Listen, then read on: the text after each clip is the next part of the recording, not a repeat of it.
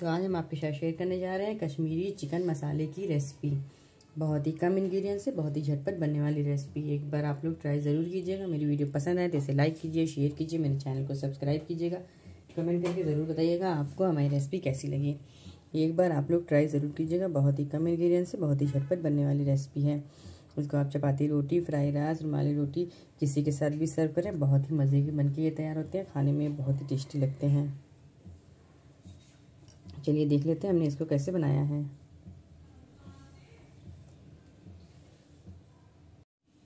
Kashmiri chicken मसाला बनाने के लिए यहाँ पे हमने आधा किलो चिकन लिया है, जिसको हमने दो तीन पानी से अच्छे से धो के इसको स्टेनर में रख दिया था, इसका पानी सूख गया है। अब इसको हम सबसे पहले मेरीनेट कर लेते हैं। तो मेरीनेट करने के लिए यहाँ पे हमने वन टीस्पून नमक डाल दिया है। वन टीस्पून इसमें हम अदरक, लहसुन का पेस्ट डाल देंगे। वन टीस्पून लाल मिर्चा पाउडर डाल देंगे। हाफ़ टी स्पून भुना ज़ीरा पाउडर डाल देंगे।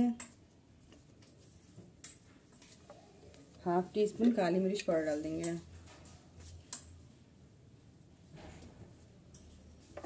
क्वार्टर टी स्पून इसमें हम हल्दी पाउडर डाल देंगे। हल्दी हमें बहुत ज़्यादा नहीं डालनी है, बस क्वार्टर टी स्पून डालेंगे और वन टी स्पून इसमें हम धनिया पाउडर डाल देंगे।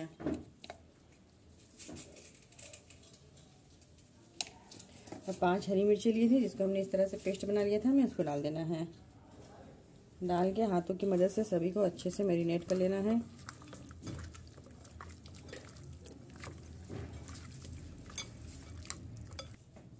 सभी को हमने बहुत अच्छे से मैरिनेट कर लिया है। अब इसको आधे घंटे के लिए हम इसी तरह से रख देंगे।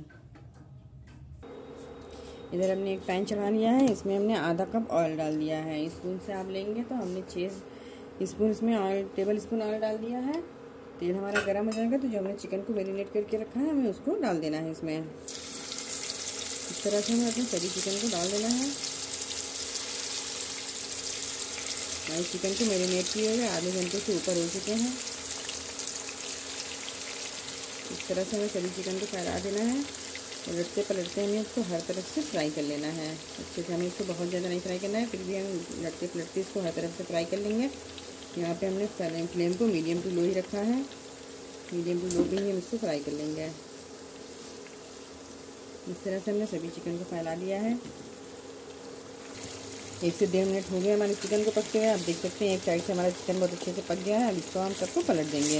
इस तरह से हमें इसको उलटते पलटते हमें दोनों साइड से इसको बहुत अच्छे से फ्राई कर लेना है।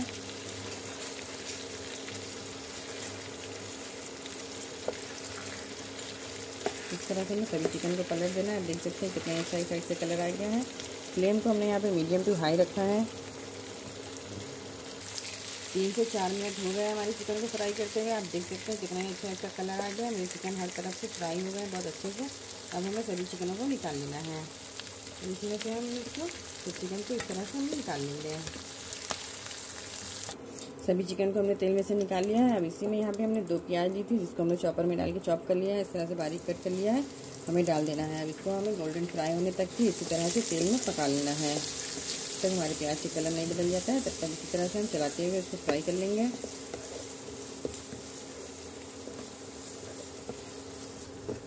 प्याज को चलाते हुए हमने अच्छे से फ्राई कर लिया। आप देख सकते हैं हमारी प्याज एकदम गोल्डन फ्राई हो चुकी है। अब इसमें हम कुछ ड्राई मसाले डाल देंगे। यहाँ पे हम वन टीस्पून अदरक लहसुन का पेस्ट ले लेंगे। वन टीस्पून ज़ीरा पाउडर वन टीस्पून लाल मिर्च powder one teaspoon garam masala powder half teaspoon काली मिर्च पाउडर क्वार्टर टी स्पून हल्दी पाउडर वन टीस्पून धनिया पाउडर। नमक हम स्वाद अनुसार डाल देंगे। डाल के हमें सभी मसालों को चलाते हुए अच्छे से भून लेना है। यहाँ पे हमें फ्लेम को मीडियम टू लो रखना है। मीडियम टू लो फ्लेम पे ही हम सभी मसालों को चलाते हुए अच्छे से भून लेंगे। इसी में हम वन टीस्पून कसूरी मेथी डाल देंगे। इससे बहुत ही अच्छा इसका फ्लेवर आएगा और बहुत ही मज़े का लगेगा। डाल के हमें भी इसको मसाले के साथ सभी को भून लेना है। सभी मसालों को चलाते हुए हमने बहुत अच्छे से भून लिया। आप देख सकते हैं हमारे मसालों ने तेल छोड़ दिया। हमारे मसाले बहुत अच्छे से पक गए। अब हम यहाँ पे हमने दो टमाटर लिया था, जिसको हमने डांडा जार में डाल के इसका पेस्ट तैयार कर लिया था। हमें अब इसको डाल देना है। डाल के हमें इसको चलाते हुए इसको भी हमें अच्छे से मसालों के साथ भून लेना है। जब तक हमारा मसाला तेल ना छोड़ दें, हम इसको चलाते हुए मीडियम टू लो फ्लेम पे सभी को अच्छे से भून लेंगे। इधर हमने टमाटर को भी चलाते हुए अच्छे से भून लिया। आप देख सकते हैं, हमारे टमाटर ने तेल छोड़ दिया, एकदम मसाले जो हमारे बहुत अच्छे से पक गए। यहाँ पे हमने एक कटोरी दही ली है, हमें इसको भी डाल देना है, इसको भी भून लेना है, अच्छे से चलाते हुए। हमें यहाँ पे फ्लेम को मीडियम टू लो ही रखना है, मीडियम टू लो फ्लेम पे अच्छे से इसको भी भून लेना है। तो चलाते हुए अच्छे से आप भून लीजिए। इधर हमने सात से आठ काजू लिए हैं और दस से ग्यारह किशमिश लिए हैं। हमें इसको ग्राइंडर जार में डाल के, थोड़ा सा पानी डाल के इसका फाइन पेस्ट तैयार कर लेना है। इधर हमने दही को भी बहुत अच्छे से भून लिया है देख सकते हैं। हमारे मसालों ने तेल छोड़ दिया है। इधर हमारे काजू और किशमिश का पेस्ट एकदम तैयार है। हमने इसमें थोड़ा सा पानी डाल के इसका एक फाइन पेस्ट तैयार कर लिया। वहीं इसको भी डाल देना है। डाल के हमें इसको भी चलाते हुए पका लेना है। इसको बहुत ज़्यादा नहीं भूनेंगे। डाल के हम थोड़ा सा इसको इसी तरह से पका लेंगे। एक मिनट तक मीडियम टू लो फ्लेम पे हमें इसको अच्छे से पका लेना है। मसाले को चलाते हुए इसको पका लीजिए। काजू और किशमिश को भी हमने एक मिनट तक पका लिया है। हमने फ्लेम को मीडियम टू लो रखा था। मीडियम टू लो फ्लेम पे ही हमने इसको पका लिया है।